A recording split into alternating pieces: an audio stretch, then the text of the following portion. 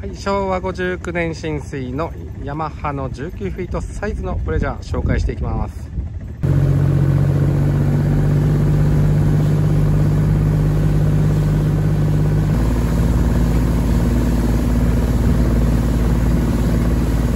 ね2700回転ですね。2700回転大体15ノット16ノットぐらいですね。計測を取れております。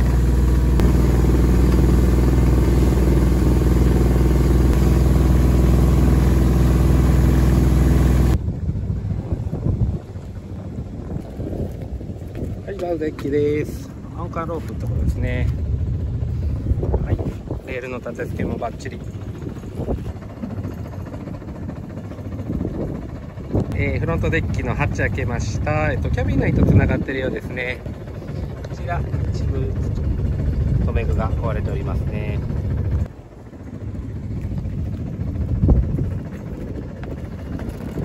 ここもね、取っ手が2箇所あるんでね。安心して後部座席行けます。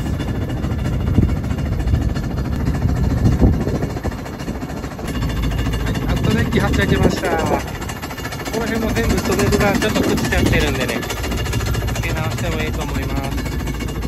はい左舷側ですね。こちらバッテリースペースになっております。こちらにメインスイッチがございます。これがさっきのウィンチのテンパールですねはい15分縁側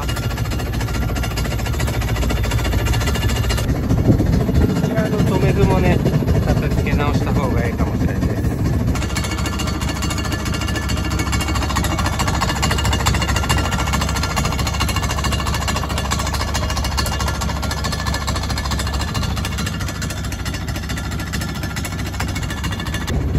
エンジンルームのこちらもですね同様ですね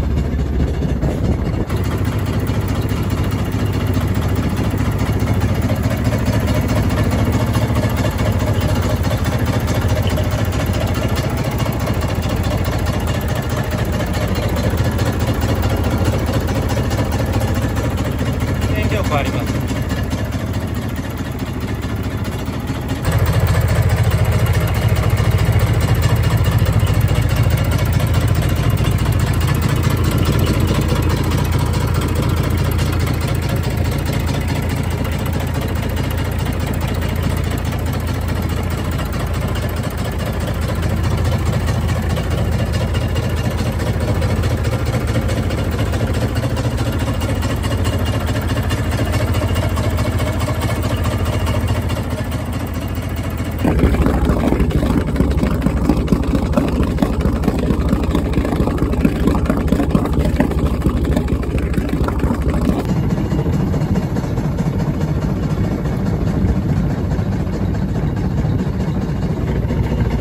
はい、操舵席周りですね。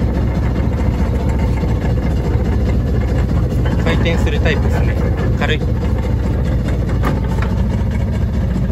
ーター周り、撮影時、アワーメーター4851時間示しております。左舷側ですね、こちらに巻き上げ機ついてます。一番選手側と。こちらでつないであるようです。テンパールさえあ取り付けしていただければあ使用することは可能です。燃料メーターもしっかり動いてます。ここが両色灯と高解灯のスイッチですね。で、キャビン入ってる裏側、こちらにブレーカーあります。これが両色灯のスイッチになるんですね、メインになります。操舵席の上ですね。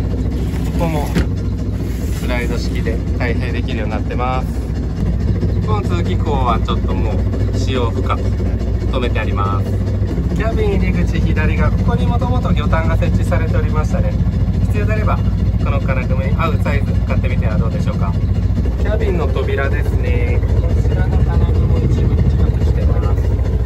操舵席のとこですね。コンパスの設置もありました。よいしょ。キャビン内ちょっと失礼します。ここの裏にね、はいカチカチってあるスイッチがあいやつが操舵席のああなるほど。これ本当だここに室内灯もバッチリですねはいこちらキャビン内ですね奥行き結構広いですねうんだいぶレベルうね2人ぐらい寝転べるぐらいアンカーもついてますこの下もはぐったら収納スペースになってるようですはいデッキ中央部ですねこちらは深い深いいけになってますねスパンカーもついておりました。セールは結構使用感がありますね。エブレホツレチク現状確認取れておりません。サーチライトは玉切れでそうです。使えるのは使えます。はい。標尺灯の点灯確認取れました。はい。こちら右舷側ですね緑の方もバッチリです。はい。高解灯の点灯も OK です三角テントも立てれるようになってます。まだ1週間経たんや。剪定を塗られてまだ1週間前後。あそれを引っ張って、うなるほど。ワイヤーが切れちゃってですね、